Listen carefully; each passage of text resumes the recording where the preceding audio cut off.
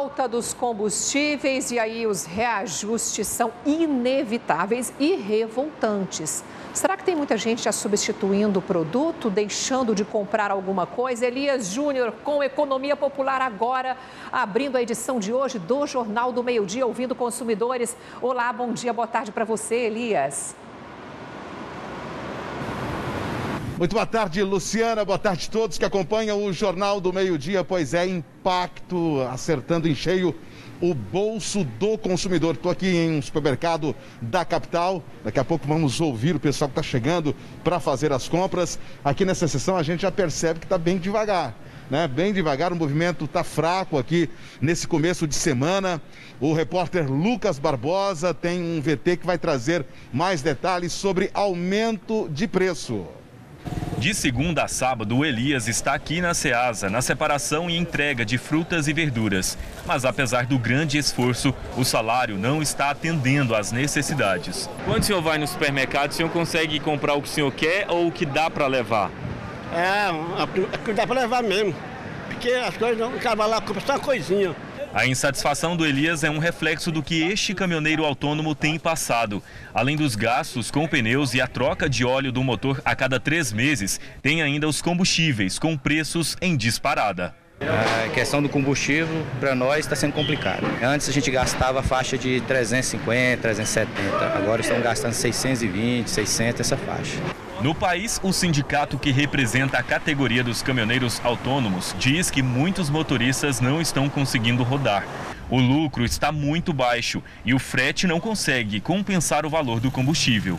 Lucro completamente pagando para trabalhar. Lucro nenhum. E inevitavelmente essa conta chega para todos nós, já que de todas as opções de transporte de cargas no país, essa daqui, pelas estradas, é responsável por mais de 60% da circulação de produtos. E se os aumentos nos preços dos combustíveis são constantes, o preço do frete vai encarecendo cada vez mais. E mesmo tendo uma distância relativamente pequena, os lucros seguem reduzidos. O Alfredo é produtor de abóbora e chuchu e há 40 anos ele vem na Ceasa duas vezes na semana. Mas os 60 quilômetros rodados entre Goiânia e Teresópolis têm pesado no bolso. O petróleo aumentou, caiu o lucro. Tem que produzir mais para compensar. Mas e aí, tem alguma saída? Não tem jeito não, não tem para correr não. Para o Kleber tem, viu? Os planos dele para o futuro já estão prontos. Penso em montar meu próprio negócio, porque né, nessa área está complicado. Olha, e claro, os preços nos supermercados também dispararam. A Maria pegou o tomate aqui e olhou para a sacola. Maria, você se assustou, né, com o preço? Com certeza, o preço que tá, né? Tem condição da gente não pode mais comer verdura, né? Fruta nem se fala, né? Os preços tá horrível, não tem condição. Esse aqui é o tomate saladete, semana passada estava R$ reais, agora chegando a R$ reais, R$ 12,99 o quilo. A Maria ficou assustada quando ela olhou aqui na placa, colocou, olha só, dois tomates. Já tinha acontecido isso antes, Maria, de chegar no supermercado e colocar dois tomates na sacola? Principalmente esse supermercado aqui, ele Sim. faz é oferta, né? Todo, todo, toda semana tem uma- um dia aqui que tá tudo as verduras tudo bem mais barato. Eu moro no Jardim Olímpico, eu vinha comprar aqui porque era mais barato. Agora chega aqui tá essa situação. Isso é um sinal que para todo lugar tá desse jeito. Tá para todo lugar, tá desse jeito. Não tem condição não. Tá muito difícil. Muito difícil E além do tomate, o que, é que você vai levar para casa? Ah, Não, eu só vou levar esses dois tomates aqui, não tem condição de levar mais. Salário muito pouco, trocado na mão, como é que vai levar mais, né? Não tem condição. Situação realmente muito difícil, a realidade da Maria, É, salário baixo e o preço nas alturas aqui do tomate. Vamos circulando aqui, realmente o movimento não é o sempre, né? Um movimento menor no supermercado. Estou aqui ao lado do Gilberto Soares, ele é presidente da Associação dos Supermercados de Goiás. Ele tem uma explicação para essa alta. Não tem nada a ver com a guerra? Tem a ver com a guerra ou já era uma alta que já era prevista? Veja bem, uma série de consequências, né? menos guerra, no caso para hortifruti granjeiro. Que é a questão da sazonalidade, teve muitas, muitas produções que foram jogadas fora por conta mesmo do excesso de chuvas, né? A dificuldade de acesso aí às lavouras e também do transporte aí com tantas pontes né, interditadas, enfim, fazendo com que até aumentasse mais esse percurso e, e gastasse mais combustível. Infelizmente, impacta aqui no, no, no, preço dos produtos na área de venda. Nós vimos agora há pouco a Maria assustada levando só dois tomates para casa.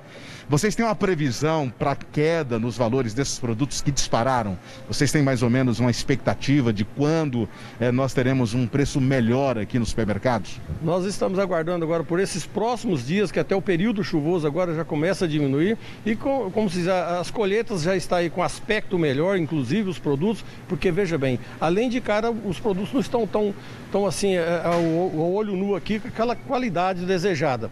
Então nós temos aqui o tomate, tantos outros produtos que subiram, tem outros produtos até mais em conta, mas de uma qualidade inferior até. Mas as pessoas têm feito aí a sua parte, né? É, é, é vindo aos supermercados e buscando aquilo que cabe dentro do seu bolso. Muito bem, olha, tem outro lugar aqui que é para ser muito visitado nos próximos dias é onde se vende ovos de Páscoa, também tá pertinho aqui na seção de ovos de Páscoa. E como é que vai chegar para o consumidor o preço do ovo de Páscoa? Vamos continuar passando aqui pela seção de frutas e verduras, realmente bem devagar o movimento. Ali os ovos de Páscoa já posicionados, só esperando o consumidor chegar para levar ovos de Páscoa. E será que teve aumento? Teve disparado? Olha só, os ovos estão aqui esperando os consumidores. Vou aproveitar aqui o Gilberto para falar com ele. Gilberto, e os ovos de Páscoa? Para quem vai comprar para essa Páscoa aí, o ovo para a família, vai se assustar também? Não, tivemos nenhum reajuste tão assustador que não seja mesmo da correção aí da inflação. Coisa na faixa de 10%? É, 10, 11%, depende da marca né, é, é, aqui regional e das marcas grife. Okay? ok? Obrigado, Gilberto. Obrigado eu. É isso aí, voltamos com vocês no estúdio. É isso daí, Elias. A gente percebe realmente uma movimentação bem aquém do que com certeza os supermercadistas esperavam, mas nada mais, nada menos que o reflexo de todos esses aumentos impactados aí pela alta exorbitante dos combustíveis é porque chove demais, interfere no preço dos produtos. Quando faz seca também, o calor impacta nos preços. A guerra já também interferindo no preço do trigo. Consequentemente, o pão nosso de cada dia já vai subir de preço. A mesma coisa o fornecimento de fertilizantes. E aí também interfere muito nas lavouras e o consumidor vai pagando o pato. A gente vê que muitas pessoas optavam por compras maiores, aquela conhecida compra do mês, agora não, indo toda semana na expectativa de promoções. Você que está nos acompanhando, já deixou de adquirir algum produto ou está substituindo marcas? Conta pra gente como é que está a sua realidade e em que essa alta dos combustíveis está impactando aí no seu orçamento. O WhatsApp está sempre aberto para você, o microfone é seu, 985 19 mil. E a gente viu no detalhe a imagem do, dos ovos de Páscoa, parece até ironia, porque uh, nós mostramos ao vivo aqui uma senhora, uma consumidora, que não deu conta de levar sequer meia dúzia de tomates. Olha o tomate aí. E aí, meu amigo, ovo de Páscoa, não sei nem se de codorna vai dar para levar, porque ninguém aguenta mais.